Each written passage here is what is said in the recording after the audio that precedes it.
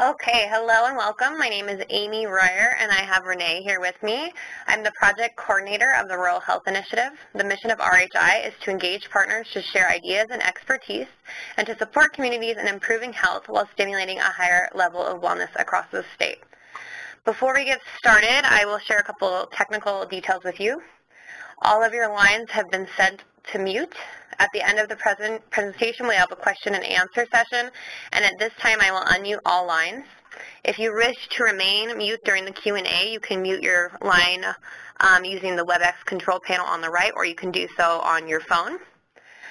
Um, there will also be a survey at the end, so please go ahead and fill that out. And then um, we will have a couple videos in this first presentation. And to get the audio on the videos, you'll have to make sure that your computer speakers are turned on, on as well. Um, okay, I think that's everything. So thank you for joining us today. I will let Renee introduce the speakers. Welcome, everyone, and thank you for joining us this afternoon. I want to give a great shout out and thank you to two of our colleagues, Marta and Christine, who are going to do our presentation for us today.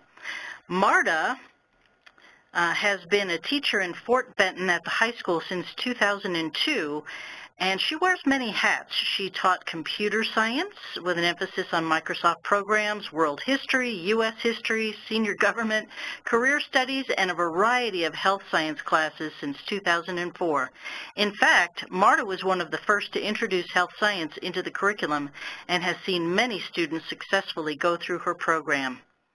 Christine Simonsen has taught for a total of nine years across the Billings School District. Currently, uh, she was hired at the Billings Career Center four years ago to start the Project Lead the Way biomedical science program. She teaches both principles of biomedical science and human body systems. And both of these ladies went to the National Consortium for Health Science Education National Curriculum Conference last October, and we've invited them to tell you all about what they learned at the curriculum conference and I believe Marta is up first. Alrighty, am I ready to go?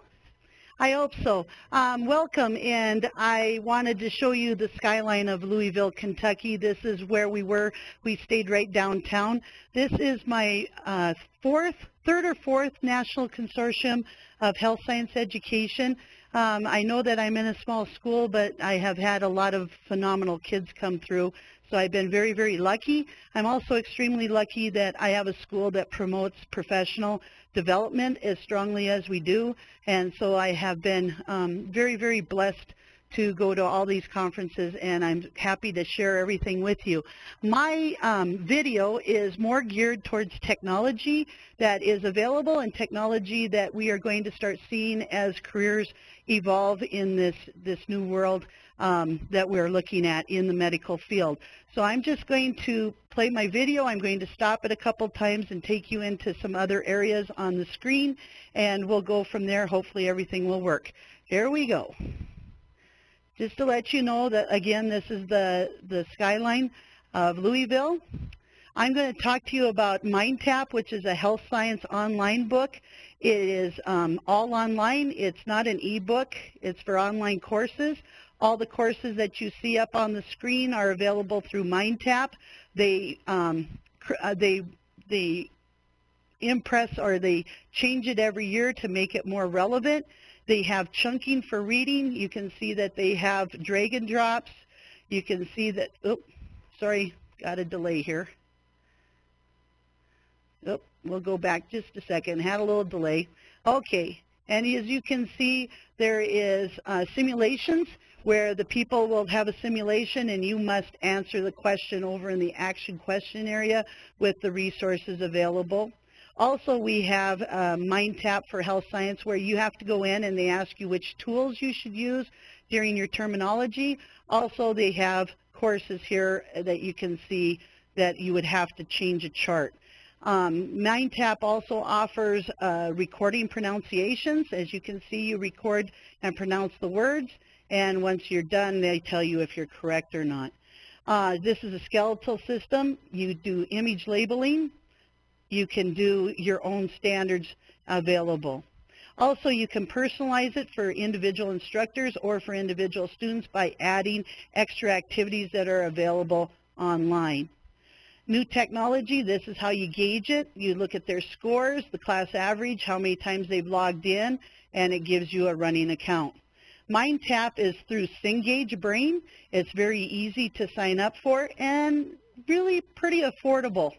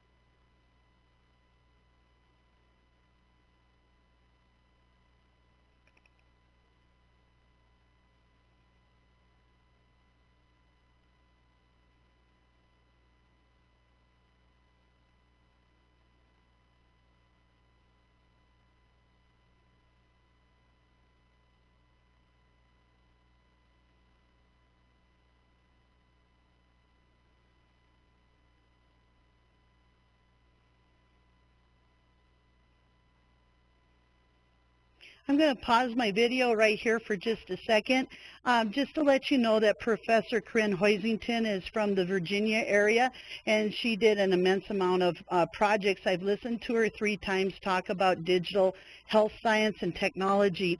She is actually the one that did this video to begin with, and I thought, you know, in rural Montana, uh, drones, AEDs, they're, they're going to come into being. And that's just one of those areas of technology in the field of medicine that I think is going to be quite interesting, not only for uh, our young people to look at drone flying, but also for um, just the health benefits that would receive if they were in, um, if they were in, you know, like I said, rural Montana. Uh, the AED is something that's brand new. It's very new, and it's something that we're going to definitely see as we move on through technology. So just a little add-on to let kids know that this is what we're looking at.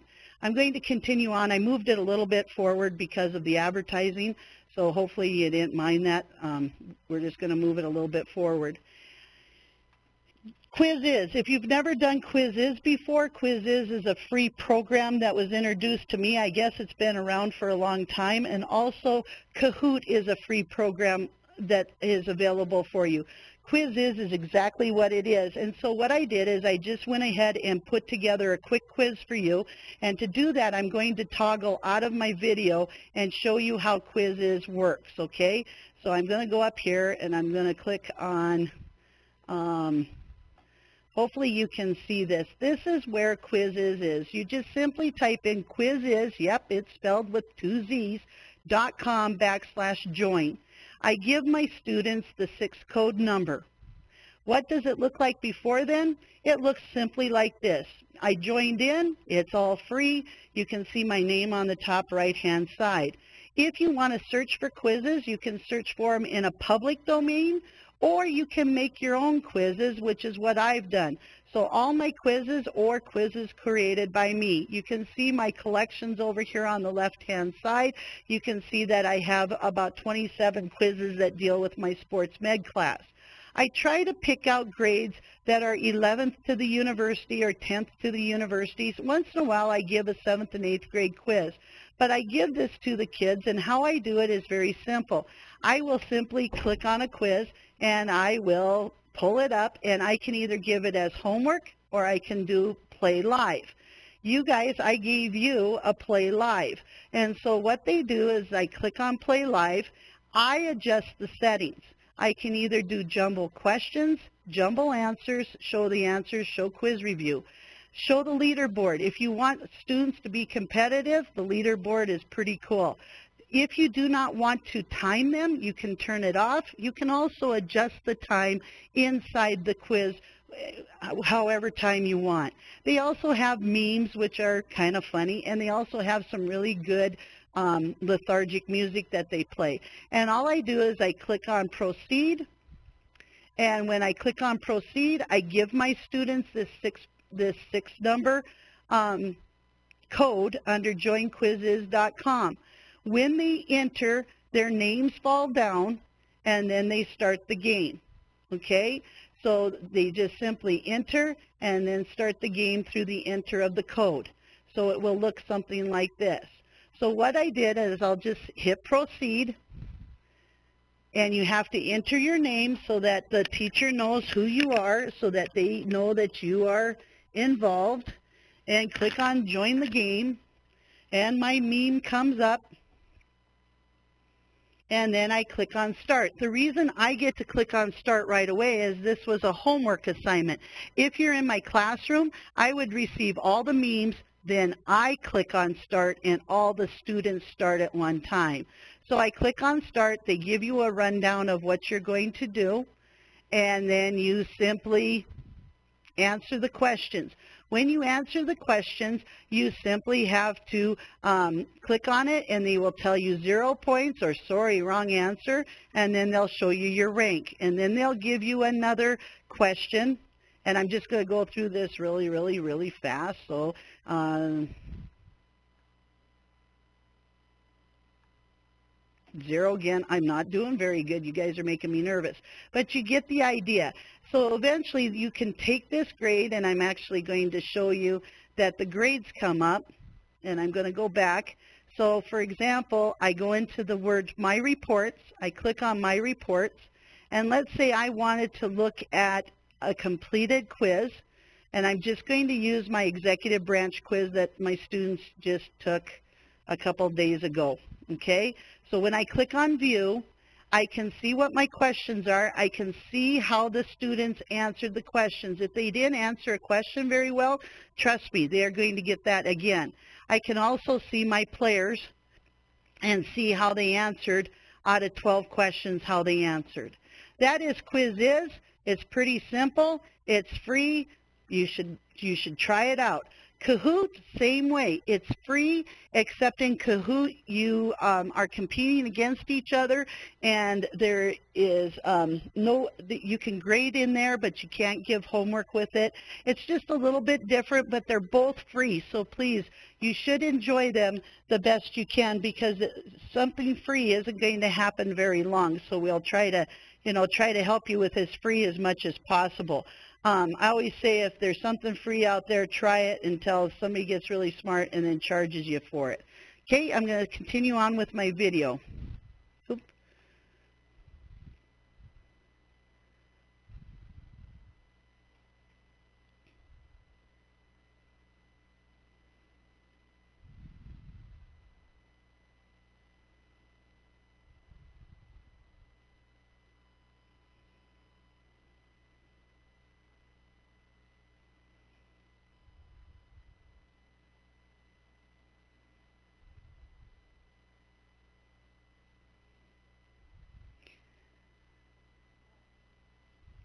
I think sometimes we do take technology too far, and at times I think it has, but we must embrace it or we will lose out. And I think if you lose out, you're losing out on your students and the advancement that we have. As we're talking about all the advancements of robotics taking over surgery and all the, the technology and computer imaging and all of the stuff that we're talking about, I think you have to embrace it. But like I said, don't embrace it all at once or embrace little bits every time, but you don't have to you don't have to not use it. I think if you don't use it, you are going to lose out. This is a new program right here called Capture. It's on Office Lens. How many times have you taken a picture and the the picture is laying down on a desk? If you use Office Lens to take the picture or the snapshot, it brings it forward. You can make it a PDF or you can make it a blank Word document. So anything that's sitting down at an awkward angle, when you use Office Lens, it pops it up. So the next time you're at a conference or the next time you have to take a picture, there it is.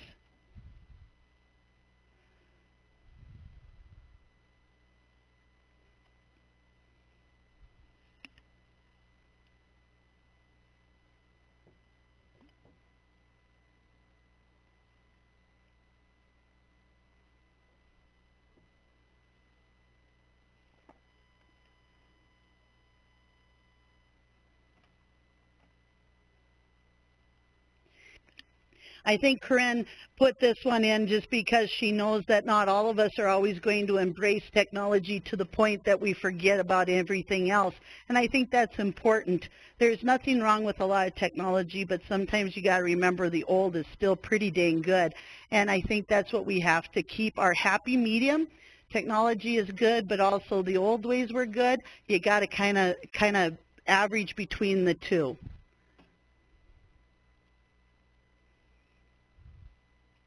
This is a Padlet.com. Padlet.com is the is a new way to collaborate in the world. So what happens is is you can uh, take one workout diary, show where you run, how you do your motivation music, how you are going to do exercises, a video of fitness. You can collaborate with everybody around um, wherever you want to collaborate. If somebody's in San Francisco, you can do that. I think that's interesting because if you're doing a nutrition or a sports medicine or a workout fitness, I think it would be fun to collaborate and try new and different things rather than the same old stuff. I think it's eventually going to go. Yep, it is. So if, Padlet.com. Be sure you're efficient when you're using your tools.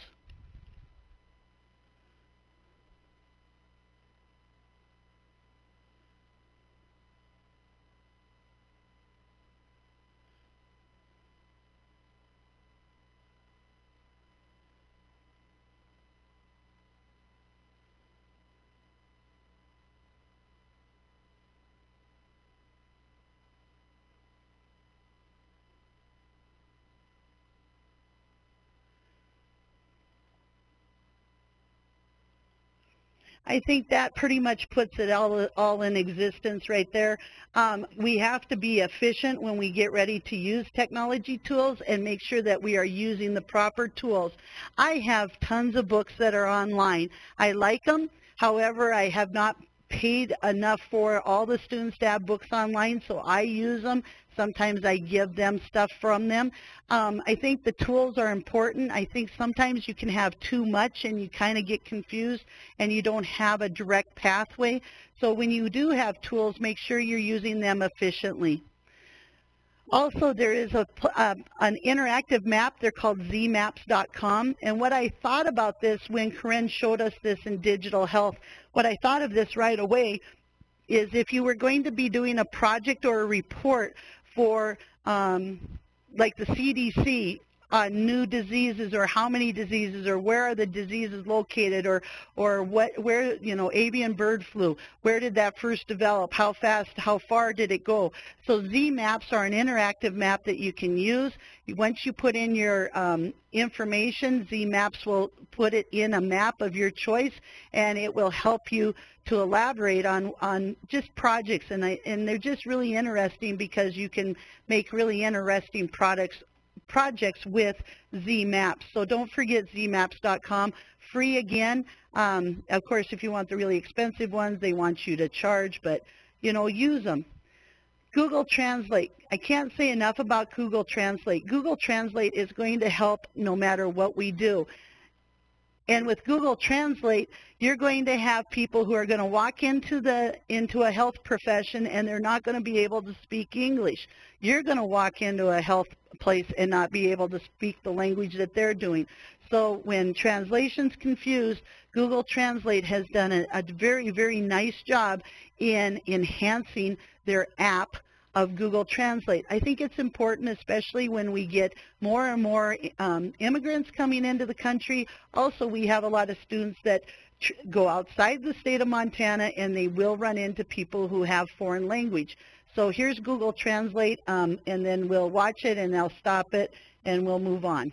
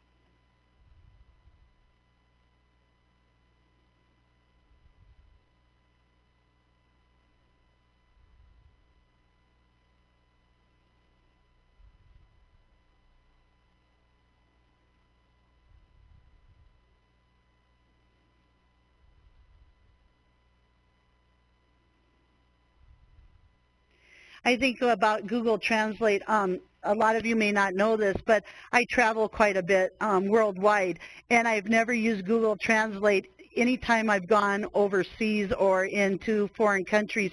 And I kind of kick myself every once in a while that I have that on my phone. I should use it. Um, but anyway, it's it's a good. It, they're just making it better for us, and they're making it easier. Um, I don't think I'm young enough to go back and learn a new foreign language, so needless to say, Google Translate will help. Also, I think, it, again, it's familiarity of technology and making the world a little bit closer. The thing about adding some excitement to your class by adding technology is, is don't be afraid of technology. Um, there's a lot of things out there that um, we have, you know, we can embrace. We don't have to always have technology. But one thing I found about going to Nisha is that technology is, is there, and it's, it's very, very unique. It's very special, and we have to, you know, kind of admit that it's coming down the pipe, and we might as well look at it. Um, mannequins. Mannequins have technology where we can make our mannequin have a, uh, a particular um, problem, and the students have to find that problem by looking at the body or asking questions. Uh, there's just so much out there. Can you make cl your class exciting by adding technology? We'll see how that goes.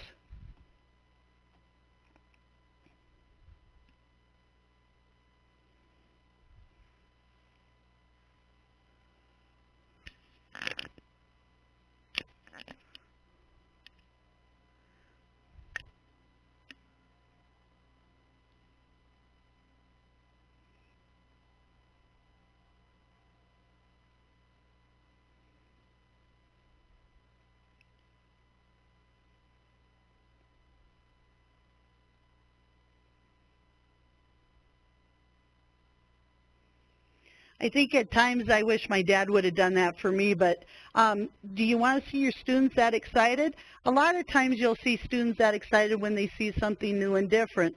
Sometimes students don't embrace it, so sometimes you have to take baby steps. So don't be afraid to try to try new things, but also don't hit them all at once. Infographics. That was a big thing at this conference. Is I went to a couple of or three three sessions and everybody was using infographics. Infographics is is phenomenal. They're eye catching. They're visuals. They make viewers interested. They they take care of your data. If you have Microsoft Office, Sway. Sway is probably one of the newest things that I've seen. It makes everything wonderful. Don't forget Piktochart, Venngage, Visme, Easel. Those are all infographic sites. They have really nice, helpful hints for you.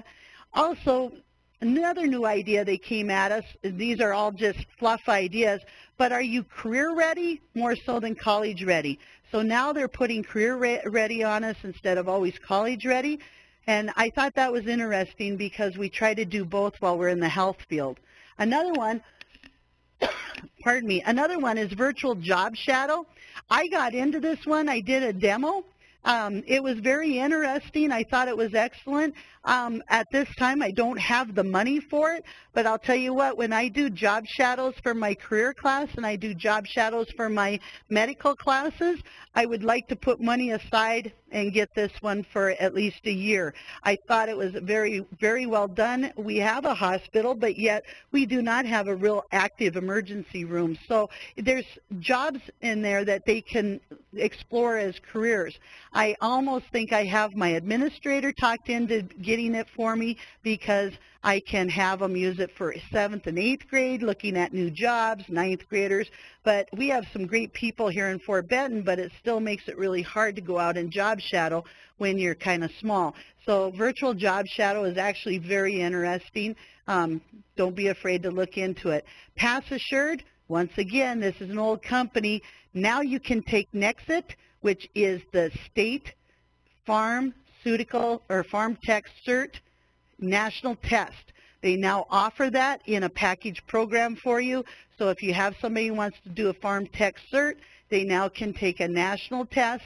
Montana will accept the national test as long as they show that they passed with a certificate and they can start carrying that with them. I have one student that's doing that right now. The other one I thought was interesting is CareerSafe showed up. CareerSafe showed up and said, hey, do you need an OSHA 10-hour general industry healthcare cert? I thought that was extremely interesting. I have students that are working in the construction field. CareerSafe will let them take those. Also some new ideas, drag and drop anatomy apps on your left. You can see those on your left. Also, don't forget Quizlet and Purpose Games. Those things, teachers, professors, they all go there and use it. Quizlet is very high-end. Microsoft uses Quiz, Quizlet all the time. Don't forget that those are ways that you can help your students be better prepared. Don't be a plotter, be a quarter horse. If you ever get a chance to go to one of these national uh, conferences, you should take advantage of it. They they not only get you excited in October to be the best you can, but they also let you know that that that there's new stuff out there, and they also tell you that there's stuff you're doing in your classroom that are that's pretty correct and pretty cool. And I think that every once in a while you need someone just to just to say, hey, way to go, you're doing a great job. And national conventions do that. If you ever have any questions or anything at all, please don't hesitate. My my email is right there. You can also look it up on our website. You can call me. Um, I'm I'm one of the old ones, and um, I really, really, truly enjoy my classes. I'm I do a variety of classes. Uh, right now, we're in the middle of forensic science, and so um, we just we just want you to enjoy it. Uh, Louisville was phenomenal. I thoroughly enjoyed the conference, and and like I said, if you have any questions or um, anything like that, I think um, Amy's going to go ahead and open it and let you guys ask questions if you have any. If you don't have any, I must have done a really good job or you're like my seniors and don't want to ask me any questions. So I'm ready for questions and answers, Amy. Marta, how about if we wait to the end after Christina's done and um, okay. we'll then we'll take on questions. I wrote down some notes as well, and so I'd like to ask you some things at the end. Oh, yeah, yeah. That's fine. However you guys want to do it, I'm pretty flexible. Excellent. Okay. So this was my first time attending the NCHSE conference, and I too uh, really enjoyed it and got a lot out of it. One thing that I did um, that's um, different than some of the things that uh, Marta touched on is that I attended the pre-conference workshop on Tuesday, and that was intended to go over the new, new healthcare standards and how they've been modified since 2015. So that's what I'm going to focus um, the first part of my presentation on. Um, this slide right here, um, what I'm going to kind of summarize in here is the fact that in May of 2015, 11 common healthcare foundation standards um, were reviewed, and there were originally four career pathway standards, and those are listed there. They were diagnostic, therapeutic, environmental, and health information, and those four standards were changed to five, and I address them actually on the next slide, and I address the seven uh, standards on slide five. So I will be talking about those on those slides a little bit more. Um, in order to make these decisions to change these, 1,000 healthcare employers, college and university faculty, and secondary teachers, and professional organizations all came together to provide their input to identify common practices. They reviewed the content for each standard and they even pilot tested the results within their agency or organization. Um, they decided that the career standards, excuse me, career pathway standards would be organized by function rather than job titles. They used to have them broken down by particular specific occupations, and they realized that was just too specific, and they wanted to make that more broad. The bottom three uh, bullet points that I want to draw your attention to, the reason that they have these standards is so that students and parents can have clear direction to help set goals for future employment. Educators are able to design quality curriculum and instruction consistent with industry expectations, and consumers and employers benefit from high quality, efficient healthcare delivery from well-trained workers. So that's why they decided to, to have these out there for us to refer to and then also to modify them based on new current industry standards. So slide three here. Um, these are the four pathways that were changed to five. There were four originally, now there's five. And they um, added one in and they even rephrased them. So there's therapeutic service standards, diagnostic service standards, health information standards, support service standards, and biotechnology research and development standards. And once you get this PowerPoint, you should be able to click on um, those links and see all of the, uh, how these are all described in PDF documents so you can familiarize yourself with those standards. But the one I just want to touch on briefly uh, because Renee brought this to my attention is um, we should make it clear that in, in Montana, we typically focus on therapeutic services as it covers the widest set of job occupations. We don't necessarily have pathways in other areas. Um, so therapeutic services, I'll just read what it says there that these standards apply to occupations or functions primarily involved in changing the health status of the patient over time. The standards specify the knowledge and skills needed by professionals in the therapeutic service pathway. So really what that's saying is that um, today it, in most of our classes that we offer at the high school level, we are um, uh, we're reacting to patients that are ill. We're not preventing um, illnesses. We're working more on treating them and even possibly trying to find cures for them. We're not really working on how to prevent those and we don't have wellness or things like that in our curriculum right now. Um, the next slide, this is um, the links I told you about. So for all of these five pathway standards, when you get this PowerPoint, you can simply click on these links and then read about each one.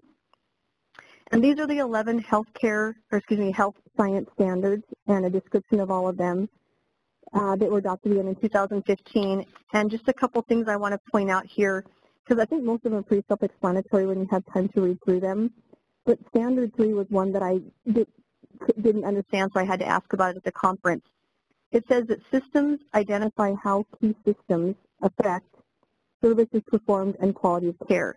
And what they're referring to there as far as systems is, is the network of the professionals that work together basically within a healthcare system so that would include everything from when a patient walks into, let's say, the emergency room, and they're greeted by the receptionist or the uh, healthcare information specialist who takes their information and gets all their health insurance information, to then going back and being um, seen by a nurse followed by a doctor, um, possibly going into surgery or other um, medical attention, then maybe having the surgery to then being seen for, for instance, physical therapy, and then going back to their physician and having follow-up care, um, that kind of thing. So they're talking about those all those people working together, and it's important that students understand that whole system and how it works. Um, standard standard four, that's basically referring to soft skills. And standard five, that's basically referring to HIPAA and even malpractice insurance. The rest of those you can um, read at your leisure, but basically these all provide a clear and consistent understanding of industry and post-secondary expectations for health science teachers and students. That's why they've adopted these. And these standards are designed to provide the essential knowledge common across health professions to prepare and increase the number of students that are college and career ready. So this slide, uh, National Health Science Assessment. Okay, so I'm going to kind of segue, but this national assessment is tied back directly into the National Health Science Standards. There is an organization called Precision Exams, and here's a picture of the uh, certificate students would get. Um, Precision Exams have worked in conjunction with the National Health Science Standards and with um, NCHSE to create um, a test that at the end of it, when students uh, pass it, they're awarded a certificate of proficiency. And that shows that they are proficient in the, health, the 11 health science standards. Again, it's, administered by an organization called Precision Exams. And this test um, was created with over 22, uh, excuse me, over those thousand um, health science uh, professionals and got input from them on industry uh, skills. And this test includes multiple choice questions, labeling, matching, and even sequence ordering. But it's not a, it's not a memorization type of test. It actually has um, critical thinking and problem solving involved, and again, it's current with uh, testing standards that go along with the health science standards. This assessment is available online. The nice thing is that it provides both pre and post testing opportunities and even reporting services for the teachers to give feedback to the students. The cost of it is for NCHSE member states, it's $12 per assessment or $15 for uh, non-NCHSE uh, member states. Students have to uh, currently get a 70% on it in order to pass. And students are allowed to retake the post-test as many times as needed and they'll just continue to be charged that same fee, whether it's $12 or $15. That same fee is the initial the assessment. So again, the next slide um, shows a picture of what that certificate looks like. This is the back of it, and the back of it shows the 11 standards that they have been met proficiency in. And uh, Renee asked me a question. She said, um, does she think that this assessment is relevant for Project Lead the Way Biomed students, if that's what I um, teach? And my um, comment to that is that I think after students were to take both PBS and HBS, a minimum of those two, but additionally with outside um, study time, uh, explanation, lecture discussion, um, having skill testing with my help outside of school hours, I think that students uh, could do well and pass this test. But again, this would have to be something that would be optional for the students outside school hours to be willing to take this, um, excuse me, to get that additional education. There's just not enough time in our class time to add all the skills and information necessary to do well on that. Um, this is something I do intend to talk to my administrator about and see if this is something we can offer, excuse me, probably not until next year. Um, Renee also is wondering um, if any other schools are doing this exam. She thought that maybe Great Falls was, but I haven't had time to check into that to see if Great Falls is, is offering it. And then um, Renee also asked if anyone, um, excuse me, if any employers, if the certificate means anything to them. Will they give preference or pay, and what does the certificate mean to teachers? Um, I haven't actually had a chance to reach out to the, our medical community to find out if it would be uh, beneficial on how they would view this, but of course I would do that before I were to offer this test and invest this type of money.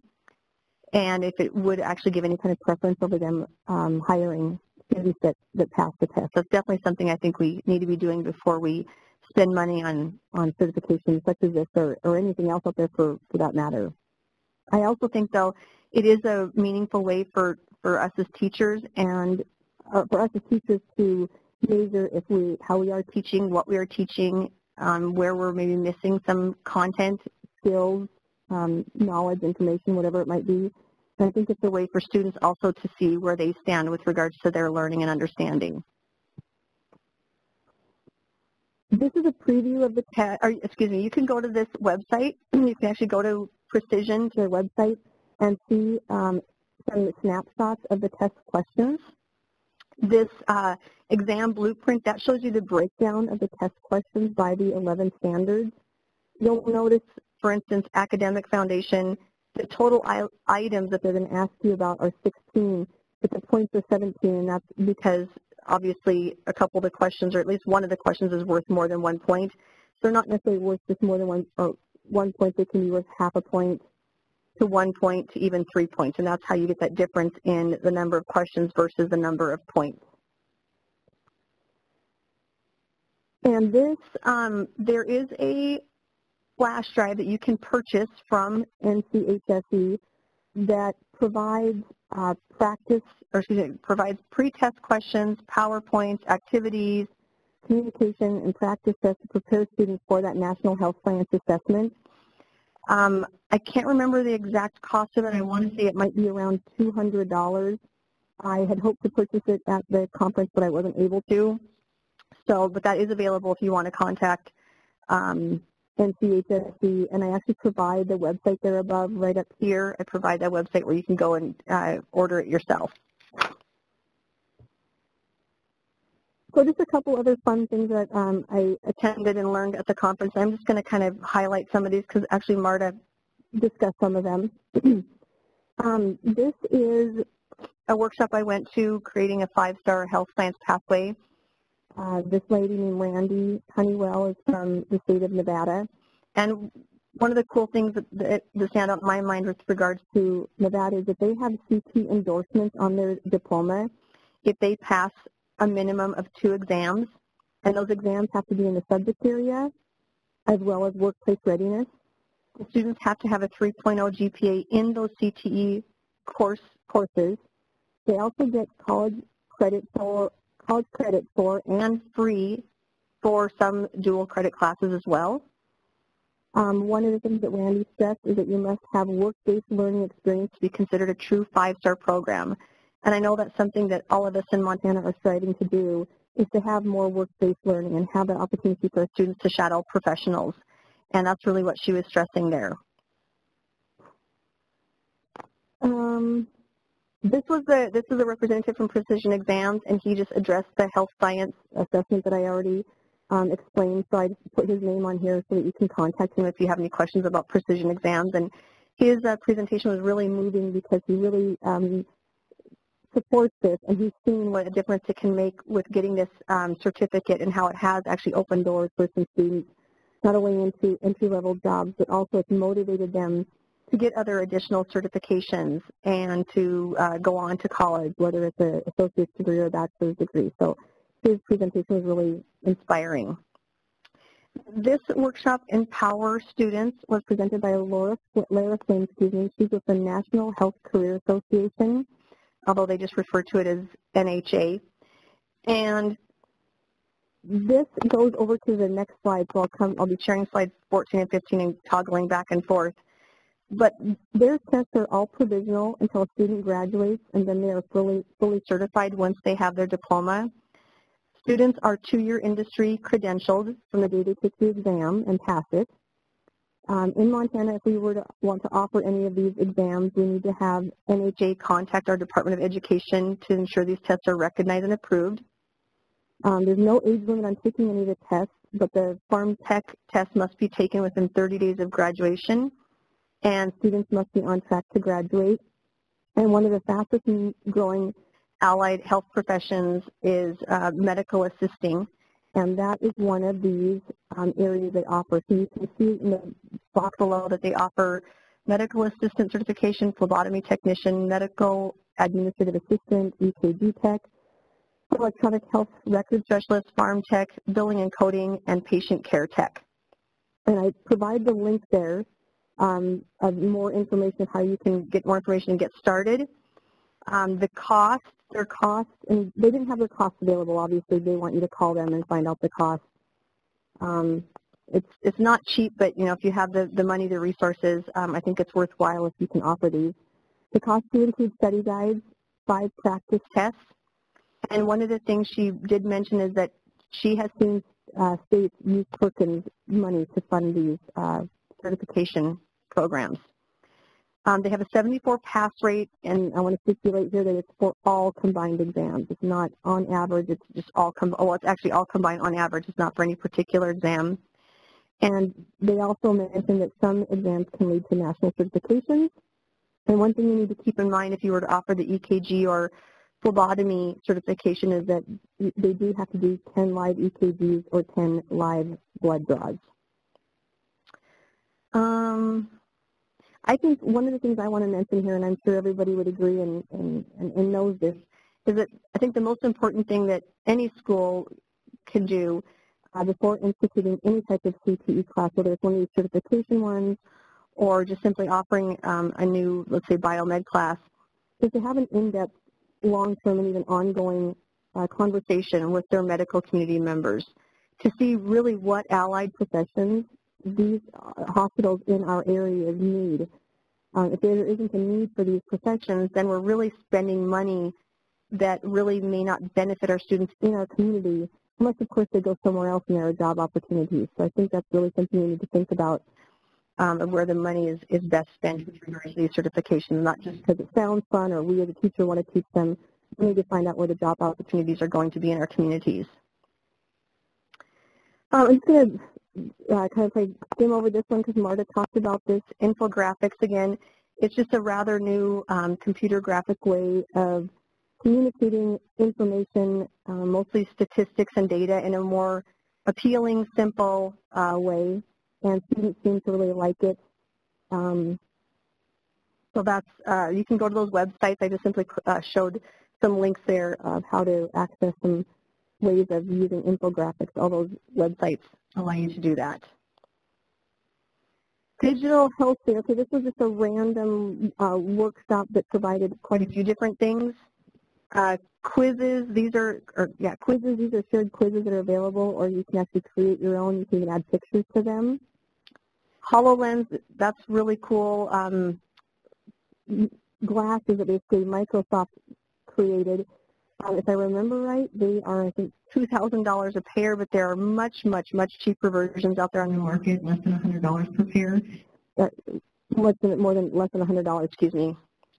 And um, what these glasses are used to do is basically provide 3D holograms, and they allow students to learn and see human anatomy right in front of them. And they can walk around the body, they can manipulate the body, they can turn it, and see different parts of it in a more three-dimensional virtual way.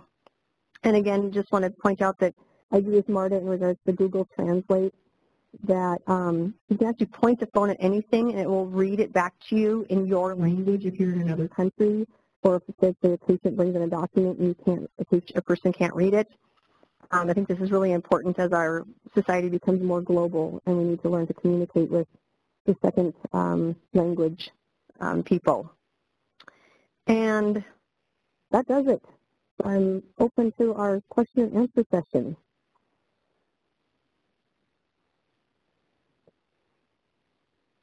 Okay, I'm going to go ahead and unmute everyone um, if anyone has any questions. So just one moment.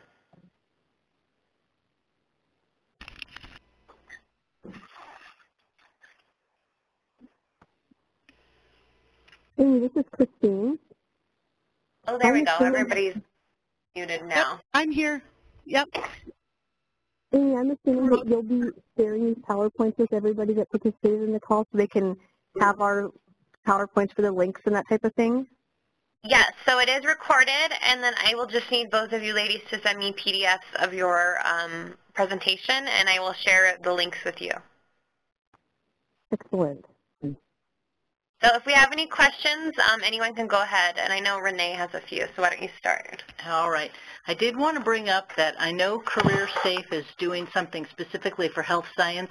I did talk with our state OSHA office, and they are also willing to come to your schools for free, but they do have a requirement of a set number of people that have to be in that training. So if that is something, and it's fairly lengthy. So I didn't bring it up to a lot of schools yet. I wasn't sure if you could really afford to take out that many hours out of your, your curriculum to be able to put in an OSHA training in health science, safety, and liability things. Uh, so anyone has any comments about that, if you'd like me to look into it more, I certainly will. I know that they are willing to do that for us. When when you say lengthy, Renee, I guess I have a question back to you. When you say lengthy, um, the the Career Safe offers a 10-hour online class. You take it you take it at your own time.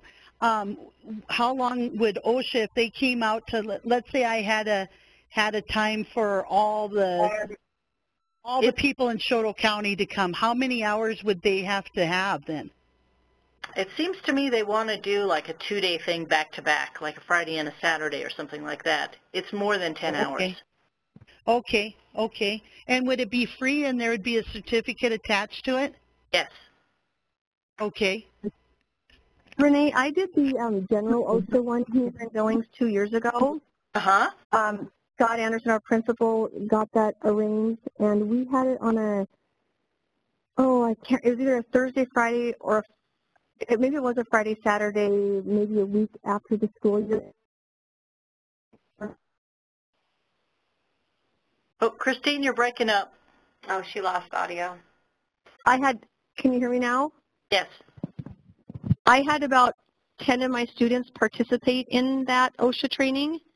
And Yeah. again, it was the general one, and they received a certificate at the end once they took the task, test and passed it.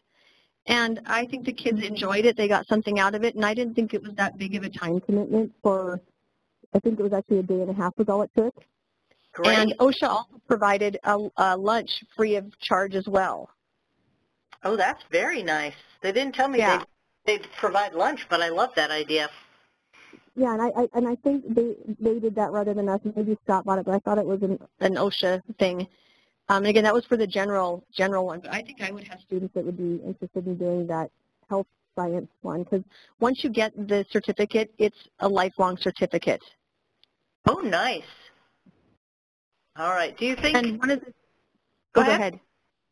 One of the things about that general certificate, and I'm sure this would be similar with the health science certificate, is that these kids could go into a restaurant if they wanted to work in the kitchen and say, look, I took this OSHA class. I got certified in this area. I understand why it's important to keep my hands out of the you know, meat grinder or whatever it is. I understand how to properly use a chainsaw. I know how to properly get on and off of a ladder and when one shouldn't be used. And so that's a way, for, I guess, a benefit for them to go into a future employer and, and show them they have that certificate. All right.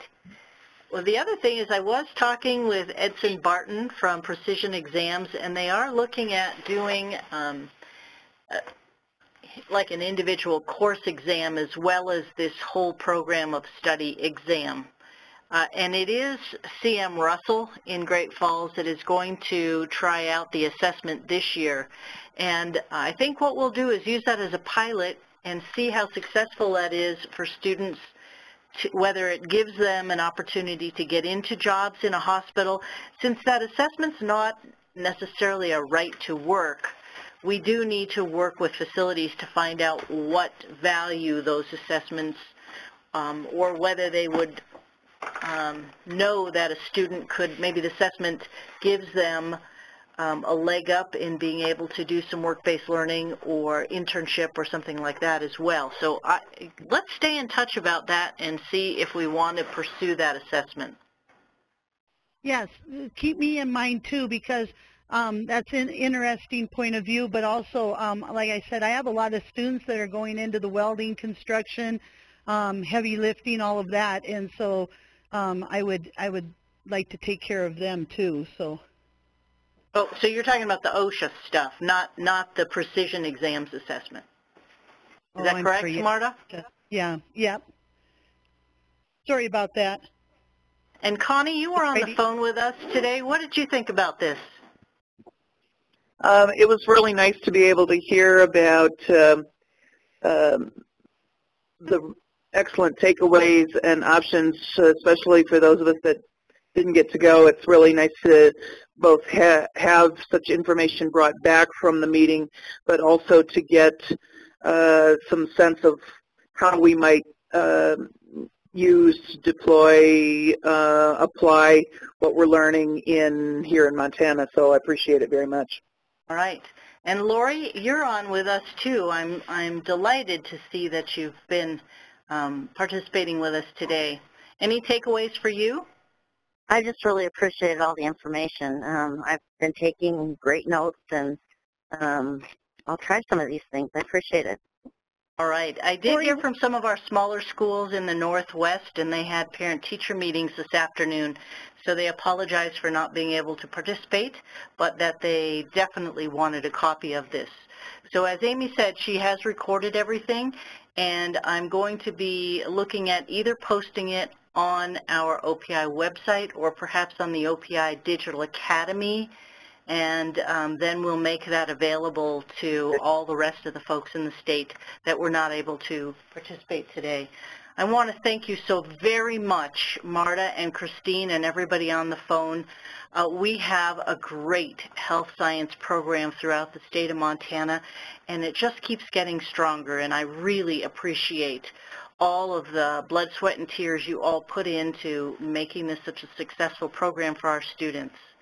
We need you. We love you. Hey, hey, Renee, before we sign off, Lori, um, you- what are you guys doing up in Shelby?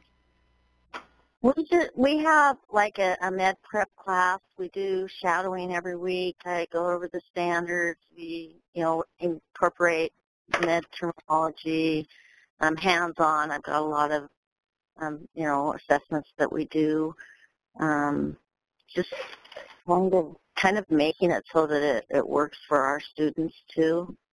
Um, but we do go into the facility and have the facility.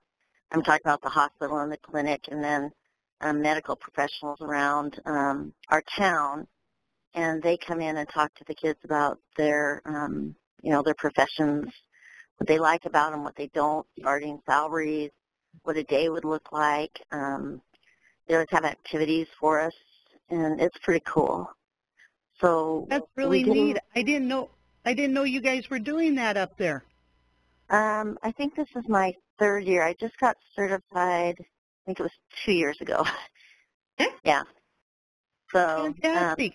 well, if if you ever want to collaborate, or or I can come and watch you, or you if you want to come down here, I know it's a distance, but you know I've driven that way a few times coaching, so I know the road very well. But um, yeah, that would be fun to talk with you because it'd be nice to talk to someone. You know, Great Falls is really good to talk to, but they're so huge and so available, and they have all this other stuff that it'd be nice to talk to somebody in a in a little smaller environment. Yeah, they they have such wonderful programs. It's just you know that that's what they do during the day. We have to do eight other classes, so you know it Yeah, makes it yeah. kind of hard. But I do what I can, and and we're plugging along. So Well, thank you, and Constance, thank you for attending. That's very cool. We appreciate it. I appreciate you guys. Thank you. Thank you. Thank you. Thank you. Thanks, everyone. Thanks. Thank you. Are we all done? We are. Hey.